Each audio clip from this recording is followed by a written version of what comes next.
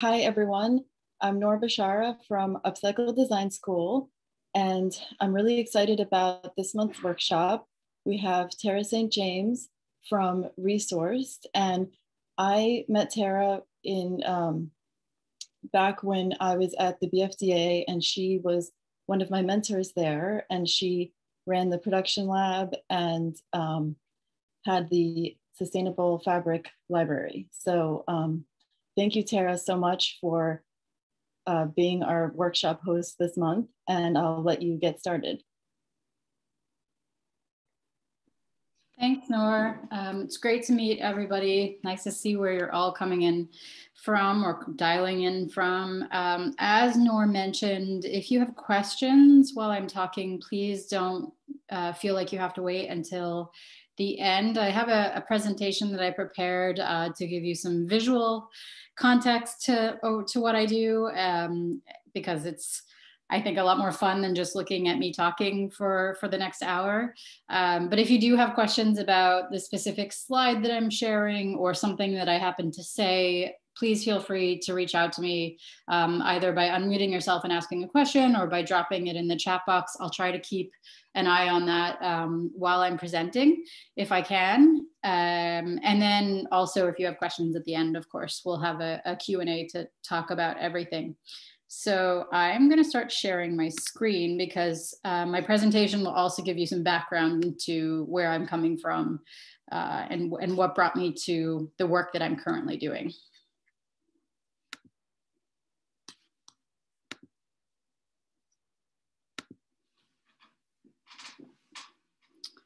So you should be able to all see this. I've had some trouble moving slides with this version of Acrobat before, so let me know if you don't see it when I move slides.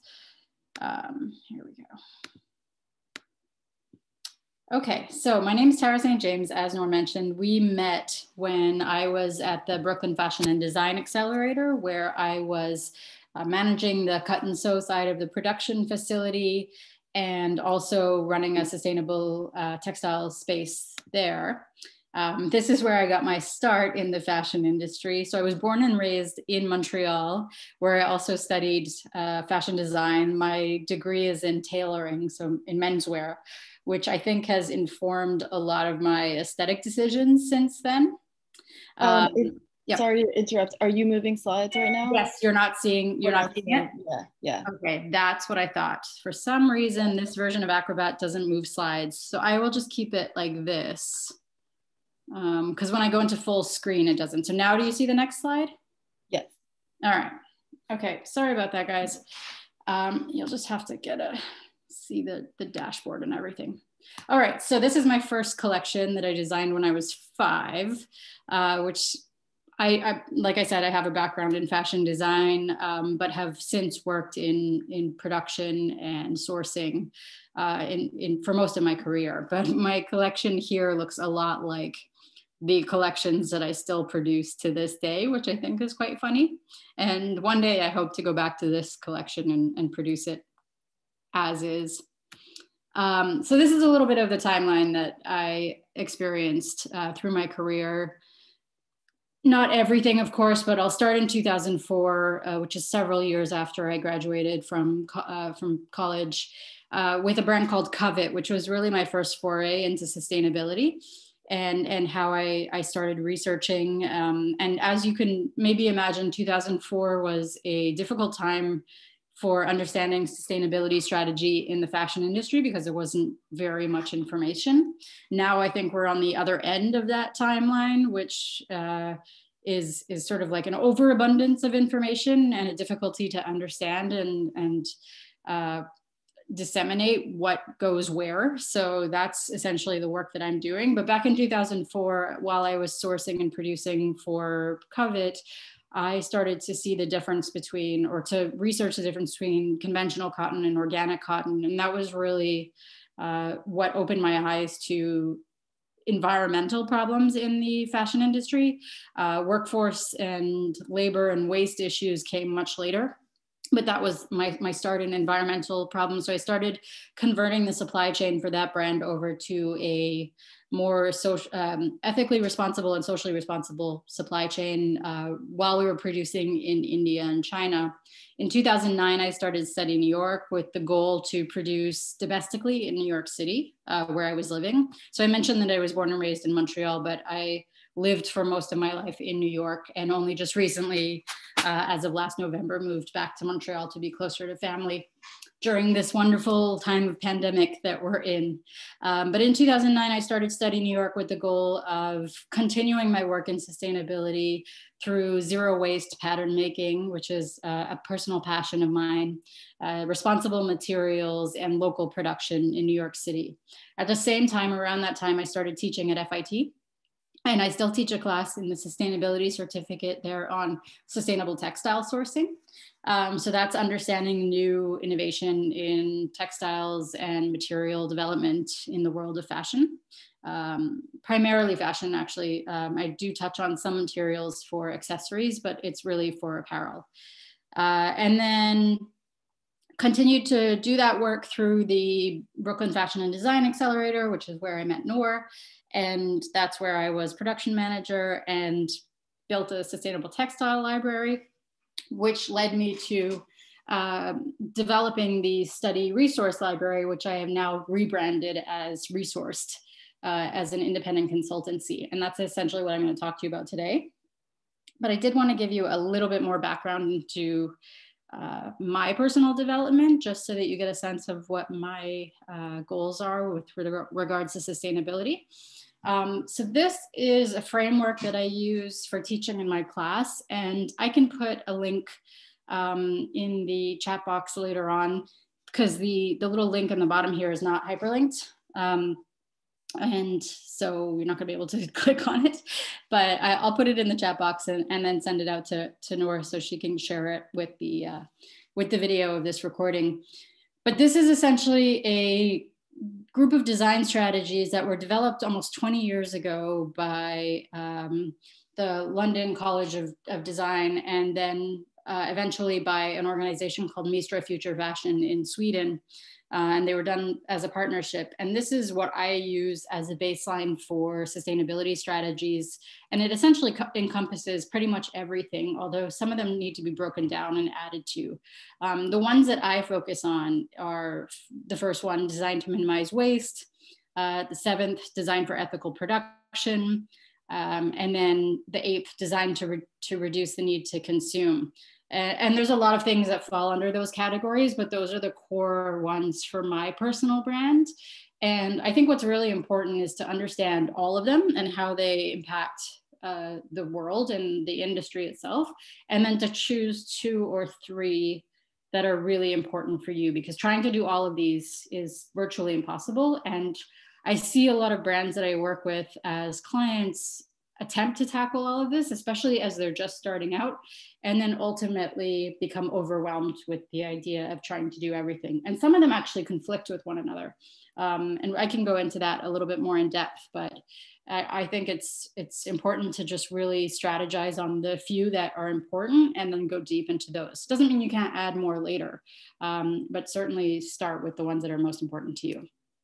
And so this is why design to reduce waste is super important to me. So I presume most of you will recognize what this is. It's a pattern marker for a larger, um, more industrial size production run. But uh, if you don't understand, I'm happy to break it down for you. So just either put your hand up or, or mention.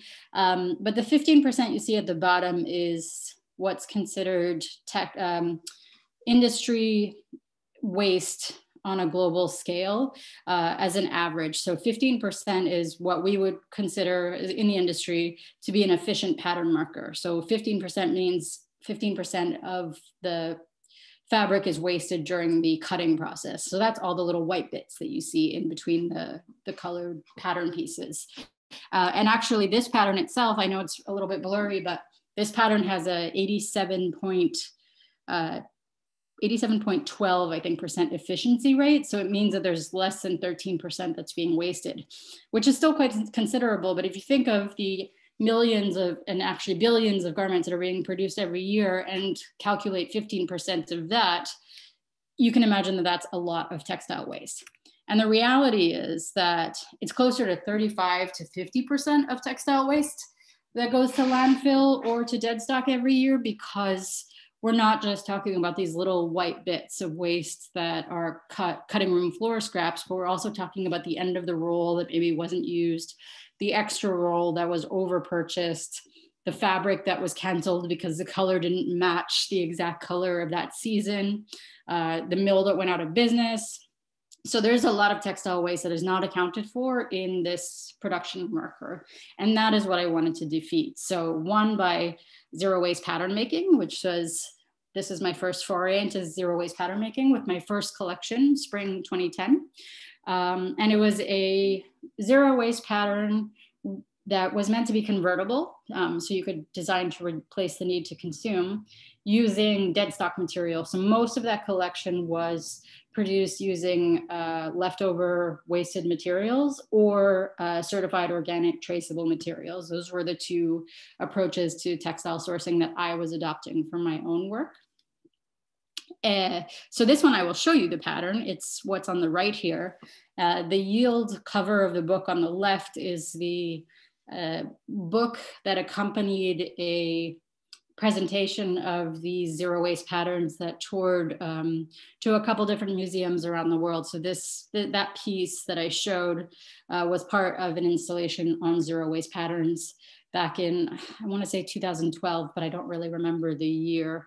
Um, but the pattern was for the collection in 2010. And so I, my approach to zero waste patterns is relatively lazy. It's really just squares and, and rectangles that I then put together with pleats and buttons so that it's convertible and, and can be um, modular, but also quite simple. So another example of zero waste patterns that I think is a lot more complex um, is this one from Holly McQuillan, who actually just recently completed her PhD on the subject in Sweden.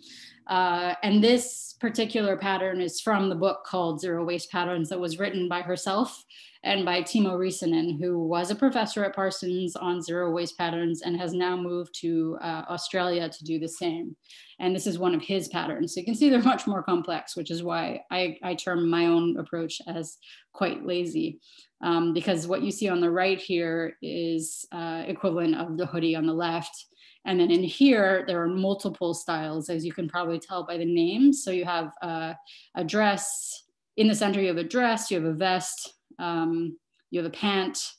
On the left, you have a t-shirt, a hoodie. I think that's it on the on that side. And then on the right, you have a, uh, a pant and a, and a top. And I'll pause here for a second just in case anybody has any questions. But I actually have a question for you too, in case you feel free um, to share your opinion. Can anyone think of any problems uh, with scaling zero waste to the, the industry at large?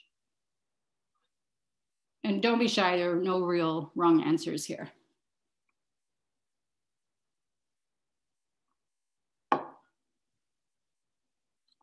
Nobody? Well, I'll give, I'll give you a hint. It has to do with sizing. So, does somebody want to share? Yeah, I think the chemicals used in uh, processing the stuff, um, like uh, the, the pesticides used to uh, supplement the growth of cotton, um, in terms of the short plants, there are cotton trees, but they're more difficult to harvest. So, and they also save a lot of water. So there's a lot of water. Anyway. Uh, yeah, I, I don't disagree with your perspective, but this these aren't necessarily always cotton. These could be made out of any fabric. For me, it's, yeah. I work in industry, but it's just kind of like we always do things a certain way. So like the plants that we own, they're used to cutting all the smalls together and the mediums together. For me, in one of my earlier trips, trying to get them to mix sizes in the marker was yeah. kind of a challenge. So it's just kind of thinking differently, I think, is a challenge in a large st- scale manufacturing. Yeah, I couldn't agree with you more. Um, and and like I mentioned, the other issue would be around sizing. So, um, what you have to do with zero waste is a different approach to pattern making than say uh, your typical pattern where you'd start with the design of the garment and then create a pattern according to that and then um, produce it. In this case, you're actually starting with the fabric itself, the pattern and the design all at the same time because the fabric is integral to the pattern because you need the width of the fabric and not all fabrics are the same width although there might be some similarities from one to the other. Um, but your pattern has to completely change if you change your fabric and so you have to keep that in account. Um, and as you can see with this one this is for one size hoodie but if you need to scale it up or scale it down to a different size it gets quite complicated um, to, to create another pattern accordingly. So sometimes, and at the BFDA, we played around with this a little bit um, for one, one or two of our clients who wanted zero waste pattern. Uh, you, you neither, you either need to develop all sizes at the same time so that they're, you're creating all the patterns at once. Um, or you just make a one size fits all garment, which was my approach to it. But again, I think that's the I'll call it the lazy solution because it was my approach. Um, so anyway, that's that's one one way of approaching it. Another way of approaching minimizing waste would be this one, which was uh, to take a garment that I was already producing, which was the dress dress on the left, and take back the waste from the manufacturer. And I'll be honest, when I got the waste back from the manufacturer it was not all nicely balled up into rolls like this. That was something that we did in in studio. Um, with my wonderful gang of interns who who would take the the waste itself, cut it up into these one inch strips, and then uh, connect those strips to make what was essentially a, a, yarn, a very thick yarn. And with that yarn, we worked with Weaving Hand in Brooklyn, who are um, an organization, a nonprofit organization of weavers who then took the yarn and wove it into a new textile. Uh, and then the width here could be specified. So in fact, we produced two different widths of this fabric that were um, only two inch difference, but essentially that was the graded, the grade rule. Um, and we made these sweatshirts out of it. Um, and the sweatshirt itself had a zero waste pattern because it was fairly simple. Um, and, and so the two garments combined created this almost zero waste mini collection. But um, again, very complicated because each of these sweatshirts was one of a kind depending on, on the dress. Uh, but that is, I think, the luxury of having a small brand and being malleable and being able to pivot and not working with these large textile or manufacturing organizations that have very strict ways of approaching production for efficiency's sake. Um, and then this is something else that I think is important that um, is something that I work with clients through resource on very carefully. Uh, through study in 2016, we changed our main label through a rebranding process and included not just the size and care and content, but also the fiber origin, so where the fiber came from, if we knew that information, because it's quite difficult, uh, the name and the location of the fabric mill, uh, the name and the location of the sewing factory, and then finally the signature of the person who sewed the clothes, um, so that we could reconnect the name of the person sewing the clothes with the customer who ultimately was going to wear it um, because I thought that that connection had been lost in the industry uh, through fast fashion and uh, opacity in, in the supply chain. And I wanted to, to reconnect those two. Um, so this is currently what the main label looks like for, for all study garments. Um, but one of the biggest problems that I saw while I was working in industry as well as even on my own is that the fashion industry works in op operates in isolation uh, and you can't solve problems when you're in a silo. So it is really important um, to, to make change through collaboration. And the other thing that started becoming more and more prevalent in, well, this is 2018, but still relevant today, is that consumers and journalists are paying attention. So if you need a reason to be more sustainable and ethical, although I'm presuming that none of you on this call do need that reason because you're spending your time trying to learn more and kudos to you for that. Um, but a lot of these bigger brands do need that reason and that reason can be financial, can be ethical. um, but people are paying attention. So that is why I launched Resource to facilitate collaboration between key players in the industry. Um, this is an example of that I think is particularly poignant. Um, this is an email that I have permission to share from the production manager at Mara Hoffman, who back in 2016 was looking to replace their traditional poly bags with uh, uh, a bioplastics option, a compostable one, uh, from a company called Tipa in Israel. And so they um, couldn't reach the, the, the, minimums from the factory to produce the bags. So they reached out to a network of designers who potentially would be also interested. And they offered a couple different bag sizes. And as a result, Tipa, the company, also offered to print uh, different logos on the one bag order so that the different customers amongst the group could um, could have their their branded bags even though they were all part of the same order in order to reach the the factory minimums this ordinarily didn't it sounds pretty straightforward and obvious but doesn't happen in the fashion industry especially among higher end Hi. brands because you're trying to keep your supply mm, chain Hi. Hello? Oh, sorry.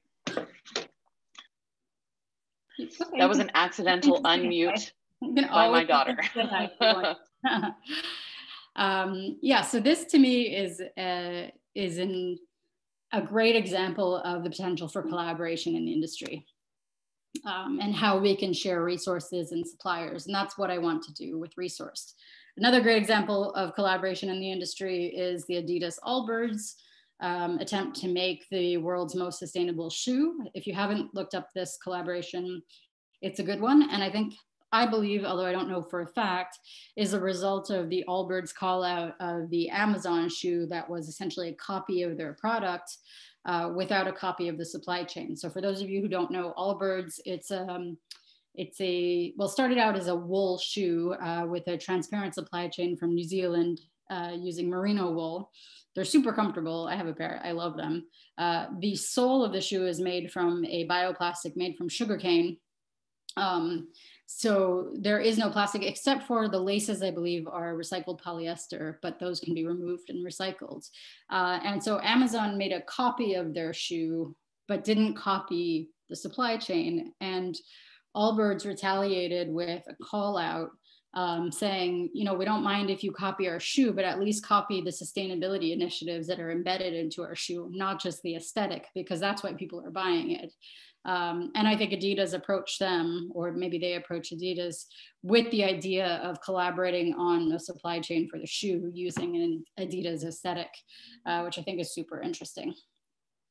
Anyway, this leads me to the wide, vast world of textile sourcing and understanding materials in the textile world.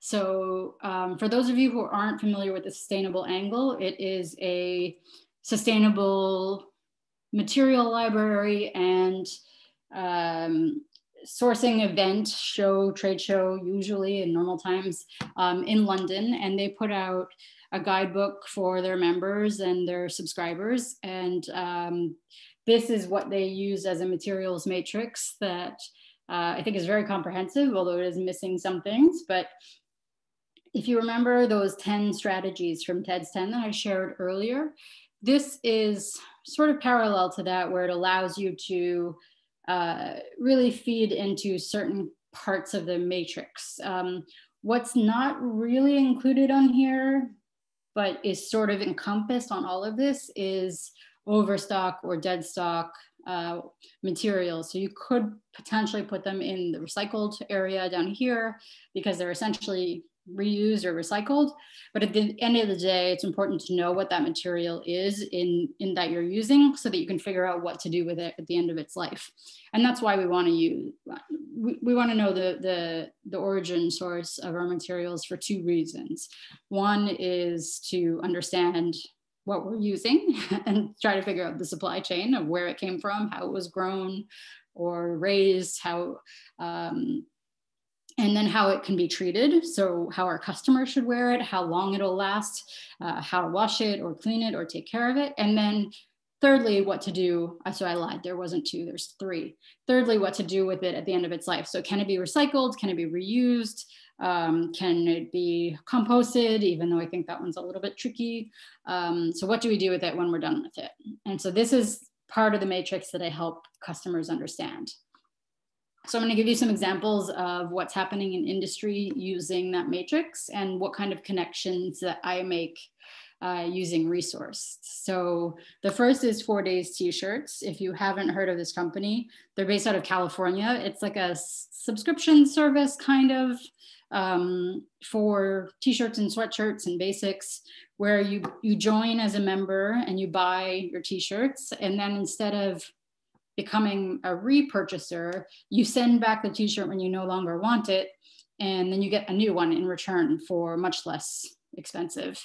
Um, and they recycle the t-shirt that you sent back. And the way they can do this is by knowing the uh, content of that original t-shirt, which was a very high quality, long, staple organic cotton that can then be recycled um, into a new fiber using a blend of that organic cotton fiber and some of the recycled, um, some of the recycled content, um, which they are recycling into their own supply chain so they don't take back other clothes. Well, they do take back other clothes from other uh, brands, but they won't recycle it into their collection.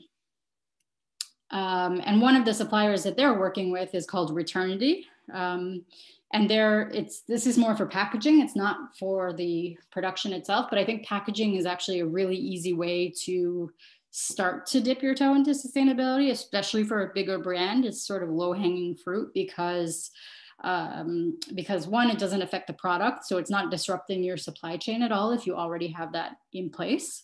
And two, it's the first thing that your customer sees when they get the product, especially now that most of our products are sold through e-commerce. Uh, the packaging represents really the ethos and aesthetic of the brand. So um, Returnity is a recycled nylon reusable packaging that be, can be reused over 50 times. Uh, and so if you have ever worked with Rent the Runway, for example, they use this company, uh, as does For Days. So it's like a, a zip pouch that can be sealed by the customer to send back any clothing that they want recycled um, and then get the new, new garments in exchange. Um, another example of who's doing what in sustainability is Eileen Fisher's Waste No More. I'm not going to go into detail about this project because I'm sure you have all seen it um, extensively and understand. If you don't, I definitely recommend going by the Brooklyn, the Carroll Gardens store because they have a great display uh, on this process and what they're doing. One of the suppliers that they work with is called Feltloom. Uh, they actually own one of these machines, but um, work with other suppliers who have them as well. And what you can do with this that I think is really cool is put in textile waste of most quality. So it depends on what the material is. Again, another reason why it's important to know what's in your textiles. Um, and you can put them through and it felts them together. So if anyone's done needle felting before, this is basically a large scale machine that does needle felting. So um, just in front of her fingers on the picture, there are thousands of needles that are lined up. So it's like a big knitting machine, but with needles. And it's safe because there are guardrails that maybe you can't see. But um, so the needles uh, punch through the fabrics. And in her case, in the example, it looks like there's only one fiber that's being felted, but you can put multiple layers. And that's how Eileen Fisher is felting together fabric for bags and coats and, and sweaters and other things like that. So pretty cool. Um, although maybe a little bit noisy to have in, in your home, um, but very cool to, to have access to. And I wish more factories had these in-house so that they could recycle some of the textile waste from that 15% I mentioned earlier. Tara, can I interrupt you for a second? Please, please. Do you know of a of a resource if designers want to have access to felting machines and want to experiment that with that on their own? Um, yeah, you mean not on their own through purchasing of a of a felting machine? You mean? Yes, yes, through just. There are a few people that I contacted in New York State region who have them, so I would recommend reaching out to Feltloom directly as a company and asking them that question, asking them if there's anyone in your area uh, who has one who who either rents it out if they if you want to play with it but more likely because it does require a certain level of training to use it more likely it would be a collaboration between the designer who has the textile waste and then the person who owns the felt loom. Um, but they're it's a small family owned company um, and so they're really nice to work with so i would definitely recommend um, i would definitely recommend reaching out to them and, and talking to them about uh, who in your area has has access to this. Okay, great. Thank you. Yeah, good question.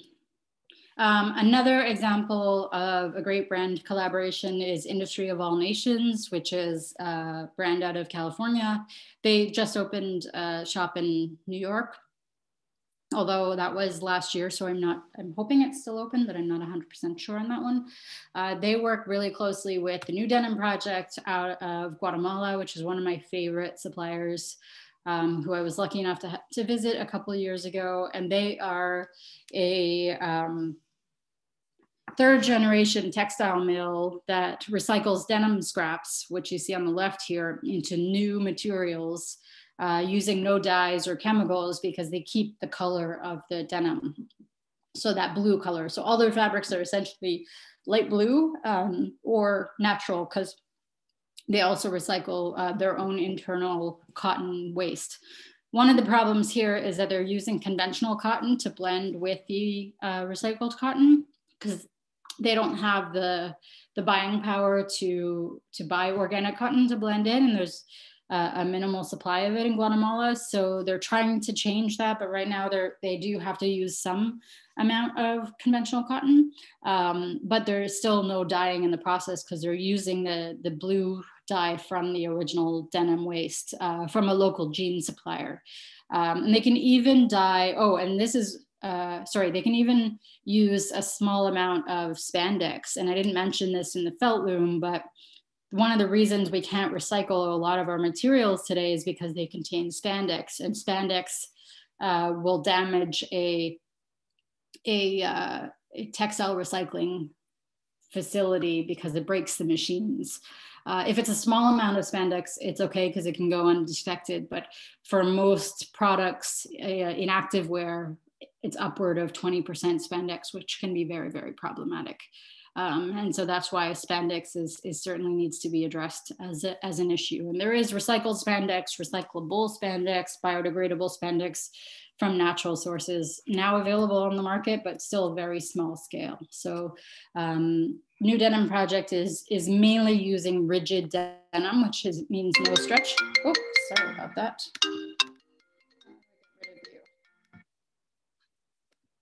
Sorry about that. Um, New Denim Project is using uh, no spandex or a very, very small amount of spandex.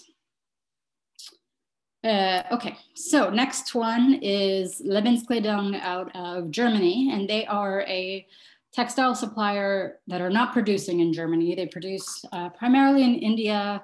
They do have a new supply chain in Africa, uh, as well as in Italy and a few other places in, in Europe. So depending on what you're producing, they focus on transparent, um, uh, visible supply chains for primarily organic cotton, but they also have recycled wool, which you can see in the picture on the, the, the tweed on the bottom left uh, as well as a few other materials. They're also now doing an on-demand print service. So they'll print one yard uh, using a digital printing technique that uh, uses no water and, and is very minimal as far as uh, MOQs. So I like them, but to be honest with you, shipping from Germany can be quite difficult and expensive. So they're very, very much focused on developing in the European market. If you're producing in Europe, great.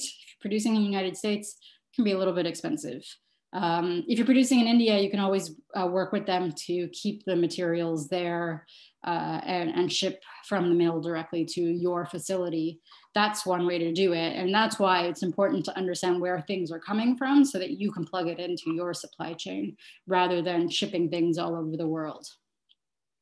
So that's another one that I think uh, is doing a really good job um, Mirum, for those of you who produce accessories like footwear, bags, uh, is a plant-based alternative to leather. I don't love this picture because it's hard to tell what it is, but they are looking at disrupting the PVC and PU markets. So the vegan leather alternatives that are out there, which are primarily plastic. Um, so this is a biodegradable and recyclable product that only uses vegetable oils and hemp and coconut husks and other other materials. And they're made in the united states so it's entirely produced in illinois which i think is fantastic. Um, and then this one based out of the uk is uh, an alternative to sequins which i think is great because for those of you who make evening wear or anything fancy sequins are made of plastic as you probably all know very few of them are made of metals. Um, so there, I have worked with some sequins in India that are made of uh, punched metal, but most are made of actual plastics. So um, they are using recycled plastics for the first iteration and then uh, are also launching a biodegradable uh, line of, of uh, non-plastic uh, sequins in the future. They're working on that now. Um, so Carolina, I see your question of recycled metal trims and notions. Yes, I actually have a supplier in, um, I believe they're in Westchester, if I'm not mistaken. And I will, while we're chatting, uh, dig up their name for you because they are a great supplier of, and they use recycled metal in their in their production. And then there are a few in Europe as well, but um, I, I like to start with American suppliers first and then move on from there. All right, and one of my new favorites is again for packaging. I know the bag is a plastic bag, uh, but they're also focused on making polybag alternatives. And this is a water soluble material uh, with plant starch and polyvinyl alcohol that you put in your well bathtub or your sink and pour hot water on it and it'll degrade entirely um, and not leave any microplastics or other chemicals in the water stream. So it is marine safe. Um, and they're making not just uh, bags like you see here, but also mailers and clear poly bags uh, and other things. So I think this is a really exciting alternative to like the TIPA bag that I mentioned earlier, uh, or recycled plastic poly bags. If you have to use a poly bag, I think it's important to do some research on which one is best for you. My personal issue with the biodegradable poly bags is that most customers don't have access to a industrial grade compost facility near them, especially now that the pandemic is, has, has hit. Most of the cities have cut their compost facilities and compost pickups. I know New York did that before I left. Um, even Montreal isn't picking up their compost um, and it's supposed to be a zero waste city soon. So um, letting the consumer take ownership of what to do with this product without giving them a large uh, burden of, of taking care of it, I think is really important and pretty cool thing to like put a bag in your sink and watch it disappear. Um, if any of you who have ordered the, the um, water soluble packing peanuts, those it's a very similar process. Um, I think that Lush uses those. My brother's obsessed with Lush, so I know a lot more than I would usually know about them. Um, but there are a few companies out there uh, working with, with uh, water soluble packaging. And let's see, Oh, this one I'm going to skip over because they just closed down last month, which I'm really sad about. But I'll talk about it briefly because they are hoping to get more funding and uh, reopen in a different location. Um, but On Point Manufacturing was a, an on demand manufacturing facility. Um, and they were making one product at a time, which I think is really, really innovative. Um, but obviously, they, and they didn't close down because they weren't getting enough traction or, or making enough money. It was actually because it was a family-owned business, and there was some some family drama um, with the funding. So that's a little side note for you. But uh, on-demand manufacturing is basically they were producing a product uh, through a typical cut and sew supply chain, but making one at a time. And they had a lot of the process automated with machinery so that it could be more efficient. But at the end of the day, they were still working with sewers who were processing the products. Uh, and I think that's really cool. Um, so I will leave you with this and my contact information. And if you want, you can just grab screen screenshot of that, but I will also put it in the in the chat box. And then we can talk and I'm gonna start looking for that metal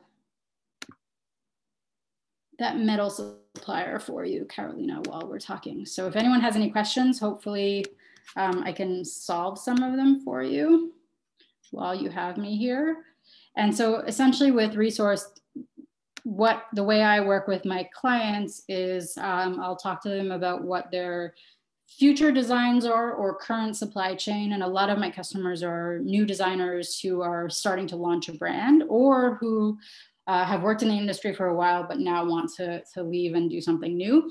And um, and so I help them first understand what their sustainability strategy is through the TEDS 10 and then some other initiatives like the UN sustainability goals uh, and a few other certification parameters. Uh, so we establish what their strategies are if they don't already have them, and then work towards finding suitable materials for their supply chain, whether that's domestic in the United States or overseas or wherever it is. Um, yes, I'll put my email here, and that's also the website. So if you want to go poke around at it, we also have a monthly Textile Tuesday series. So if you want to meet some of the suppliers, uh, every month we have them come and present. No, it's just resorts.fashion. That's all um, nofancies.com. So um, yeah, so they come and present and they do like a similar to this presentation, but they'll do a presentation on their materials, on their supply chain, where the company came from, how they operate. And then I invite the listeners to ask questions about supply chain and ask about transparency and, and really get to the, the um, nitty gritty of where they're at. Um, I'm gonna do some little digging on the metal trims while I'm talking, um, but does anyone have any questions or wanna share a particular challenge that they're having um, with, with sourcing or with fabrics, anything like that?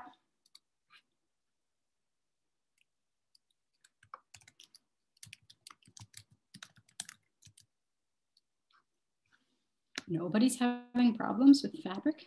So I actually had a question that was emailed to me this week um, by May from Four Objects. I don't think that she's here with us today, but she um, is looking for organic cotton ponte, organic cotton um, wool ponte, and organic cotton indigo chambray selvage, like a shirt fabric. Mm-hmm. And then she's wondering if there's a conversation to be had about bone and horn.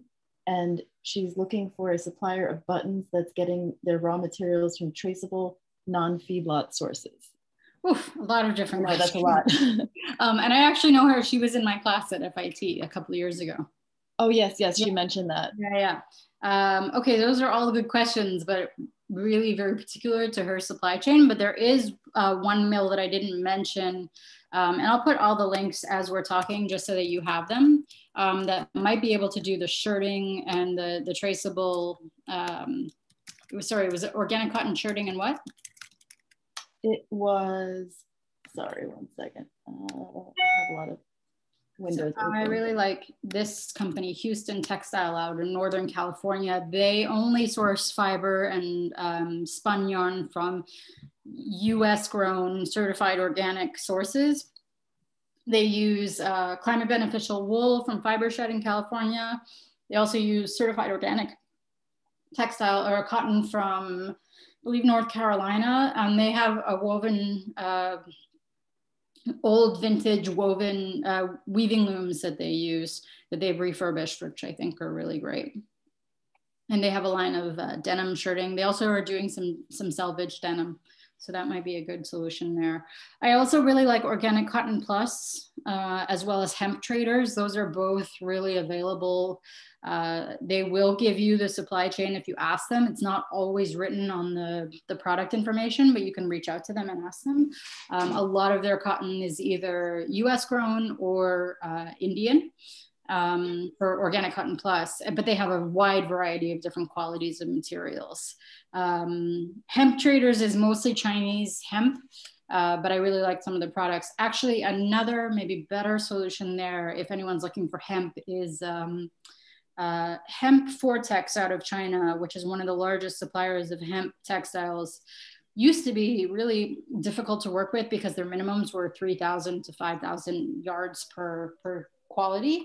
Uh, but they've just opened a small um, orders for available um, av available products um, called Bastine, and I'll put the link here. Um, I was really excited to see that they opened this, and I'm guessing it's a response to uh, customers wanting smaller product uh, availability. Anybody else have any images or, or products that they're looking for? Uh, I was curious. I'm looking into doing some plus size um, stuff. So, do you have any uh, strategies to consider when you're sourcing for plus size? Because I mean, I know that the kind of material that is going to be tend to be more um, useful in plus sizes stretchy. Mm-hmm. So like trying to keep that sustainable or as low of a footprint as possible. Yeah, well, stretchy. I mean, you also want something to consider when sourcing is you also want your product to be durable and long lasting, right? And sometimes stretch is the only solution to that. With active wear, with certain intimates, um, if you don't include stretch, then the product is just going to fall apart more quickly, and that's not sustainable either. So you also want to take that into account. Uh, with a majority of um, plus size, though, you can use you can use a chem or not a chemical you can use a mechanical stretch in the fabric so you don't have to add spandex or lycra you can get either a knit fabric that has a natural stretch to it or there are a lot of wovens now that have what's called a uh, why do I keep saying chemical that have a mechanical stretch um, is which is just the way it's woven, but it has a little bit of stretch. So it'll be the equivalent of like two, three percent spandex, not more than that. Um, if you're looking at heavy spandex, you know, heavy stretch like eight, 10% or even more, that's really hard to achieve with the with the weaving process. But if you're looking for just like a little bit of comfort stretch, I would ask suppliers for for that first before reverting to to anything with spandex. But other than Thank that, you. I think that's the only limitations. Yeah. Um, all right, so Gabby, great question. Um, you already know of Queen of Barat and Fab Scrap and Vintage Fabric. Those are good. Yes, I have one more for you. It's a relatively new equivalent. Um, actually based out of Montreal. And I'm always happy to give some Canadian companies um, a little plug, but it's um, similar to uh, Queen of Raw, but it's called Tengiva. Um, also, hi, Gabby. Good to see you. Um, I, I, like them. They're not just uh, dead stock from brands, but also directly from the mills. So any overstock that they've produced, uh, they're selling it directly. So you often have lower quantities available, but um, a lot more diversity in the materials. And it's a growing site, so they, they may be relatively new, but I think they're going to grow quite quickly and have access to a lot more mills around the world um, I think that's the best the best option I can give you outside of the ones you already have. And I think Nadine has her hand raised. Yes. Oh, sorry, yes. I didn't see no that. Problem. Hi, Noor. Hi, there, Tara. Very, very interesting uh, webinar. Um, I'm based in Beirut in Lebanon, uh, and we're mainly here have access to uh, dead stock fabric. The thing is, uh, within the span of a year, our currency lost 80% of its value. So it's even more difficult to import fabric, organic fabric, sustainable fabrics. Mm-hmm. Uh, my question to you, Tara, is where can I find other, you know, potential solutions such as felt looms that you mentioned, so that we have, you know, ways to uh, recycle the waste and, you know, create more value with what we already have. Great question, and I'm I'm very saddened by events in in Lebanon. So my heart goes out to you. Yeah. But I'm thank you. Yeah, I do see a lot of innovation happening. Um, I'll give you a bit of a parallel. So I work really closely with a company in Havana in Cuba, who. Uh, yeah have always had supply chain issues, or at least the last 50 or 60 years or so, um, and have they've innovated by, uh, and the company is um, called Clandestina, and I talk about them a lot on, on social media. Um, because I think they're really innovating when it comes to supply chain, which they have very little of. So they've created their own workshop uh, and trained sewers to do certain types of products, very basic, but still uh, wonderful. And then um, are using a as a resource all of the clothing donations that flood into developing countries primarily in Latin America, um, to take them apart and re- recycle them, upcycle them into new products. Some of them, they're just basically sort of like recutting them and printing over them, like t-shirts and, yeah. and hoodies and stuff, which is more conventional upcycling. Others, they're completely cutting apart and reweaving in a similar way to uh, what I showed you with the, the sweatshirt that we were weaving um, with weaving hands. So like two very, very, very extreme solutions. As far as the felt loom type thing, I don't know where to direct you regionally. That can be yeah. done manually, but it takes a lot of lot of labor. Um, I'm I'm think I'm looking for you know a, bigger, uh, a large scale scale solution for more like a B2B application more mm-hmm. than you know b2c you know like resewing garments etc ah, okay. so really trying to come up with uh, let's say more innovative solution that could benefit you know different uh, different uh, users whether it's uh, let's say fabric for furniture or or clothing but really filling this gap of uh, you know textile variety a sustainable solution that is you know done locally. So you want to actually become that b2b solution Yes, um, I want to ah. develop something like that because we have a lot of, uh, I mean, we have a waste issue that has been going on for a few years, but uh, now it's really, I mean, there's something has to be done on on this front. Mm-hmm. So I, okay, I'm sorry, I misunderstood the question. I thought you were looking for actually being this type uh, of, yeah, yeah, yeah. Um, hmm, that's an excellent question. I have a couple people that I'd like to connect you with, maybe offline. Yes. So if we can email. Amazing. Yeah, yeah sure. Um, some people that have uh, a lot of connections in in Lebanon, actually, but also maybe some suppliers of, of machinery that could be good, because there is um, there's some very high tech solutions that are happening now with companies like Worn Again and Evrnu that are doing like chemical recycling of materials but then there's also like more straightforward mechanical recycling. Um okay. i think like that the you know the artisanal the lo-fi it's beautiful. I love it but it's a it's a very small solution to a big problem. Yeah. Yeah. But yeah Thank please so email much. me and i'll connect you to a couple people. It would be great. I'll do that. Thank you so much. Yeah. Oh carolina i'm just seeing your question about shoddy. do you want to clarify what you what you mean by that? Because we didn't talk about shoddy, but i'm glad you brought it up hold on, hold on. Sorry. Right. Hi, everyone. Um, can you see me? Mm-hmm.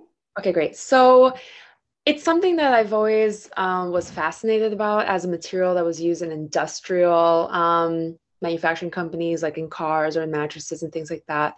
And um, I feel like there's so many experts already working towards sustainability and circularity and et cetera. And I was like, how else can I solve this problem and maybe use organic, clean shoddy for, let's say, stuffed animals? You know, I'm putting that out, idea out there for everyone to run with. Um, uh, just wondering, like, what would be, is, is there already a company that's focusing on creating more shoddy and how else can we use that instead of a down, for example? Yeah. Or um, like it's funny you say this because actually Dana, whose email I shared from Mara Hoffman, is looking for exactly that. She's Dana and I went to school together. I love her. Yeah, she's great. She's looking for a, an organic shoddy and mm-hmm. hasn't found one. We were trying to find one together. So for those of you who don't know, shoddy is I guess the best way to describe it is um, if you've seen a moving blanket from a mover, that recycled material that has a little specks of color in it. And it's basically recycled fibers. And it's a lot of where our textile waste goes into. It's used for like under carpeting, um, insulation in cars, a few different other places. The big problem with it is that you, there's no way to control the feedstock of shoddy and, and what goes into it, mm-hmm. um, the makeup of it. And so a lot of times it's toxic chemicals and harmful processes, dyes and, and surface treatments. You even see little bits of, of sequins in there. Um, so you can't export it because it can't be exported outside of the United States if it's made in the United States. A lot of countries won't accept it. I know Canada, being one of them, won't accept it. Um, but um, you also can't use it for children's uses because because of those chemicals. So one, one of those. yeah. What's that? That's what I was afraid of. I was like, yeah. nope, still more problems in this. yeah. So the New Denim Project are collecting theirs, um, but they're actually using it for compost for local um, uh, coffee growers because it's more valuable there in Guatemala for coffee growing because the small it's the small little fibers that they can't spin. Got it. Uh, you know, because they'll, they'll they'll find value in, in spinning the fibers that can be spun, and then anything that's too short that can't be spun will will go to composting. Um, unfortunately, yeah, I don't I haven't seen anyone doing any non-synthetic recycled. What about um, you know uh, Madewell has a program where they're collecting back jeans and they're turning them into insulation. And I know that they're doing it just from jeans, so that that comes to mind. But I don't know. That still though is still um, it's still like you can't control the input of that unless it's your own jeans. Got uh. Yeah, so that kind of, it still has the off gassing issues. Uh, okay. Yeah. Thank you so much. No problem. Um, we'll grab that. Anybody else? But if I think of any, if I hear of anybody, Carolina, I will um, send the link to, to Noor to. Oh, thanks. Gabby. You're faster than me. Yeah, I'm going to put everything in the show notes. All of the uh, sources that Tara mentioned, I will link to when I post the recording. Uh, yes, actually, that is the circle Earth is that's shoddy. That's a great example of what shoddy looks like. Um, but that's the problem because it is made from old clothes. So you, you don't really know unless you can control where those clothes come from. So for example, um, while they're not making shoddy, For Days is knows exactly what went into their t-shirts because they made them from the fiber level. So they sourced a high quality long staple organic cotton from Turkey. They knew what dyes went into the yarn and, and into the textiles. Um, they can't control what um, any chemical agents that their customers are using to wash the garments. But you know there are of course um, certain industry limitations for those. So there's only so much that that can be put in. Um, but otherwise, uh, otherwise they know exactly what went into that. So that's why they can control the the supply chain. Yeah, the Circle Earth, I believe that's a new company, um, and she's using that. And I'm seeing, you know, new applications of that as well. Like that could be like, you know, like the puffer insert in a coat or something. Yeah, um, it, it tends tend to be quite heavy for puffers though, because mm, it's okay. it's dense material unless you're using a very thin layer of it.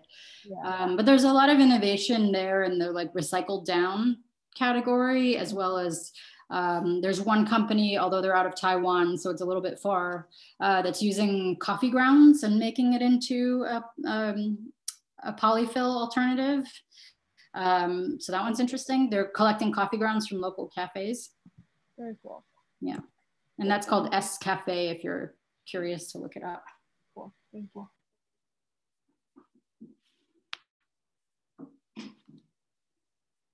Any other questions?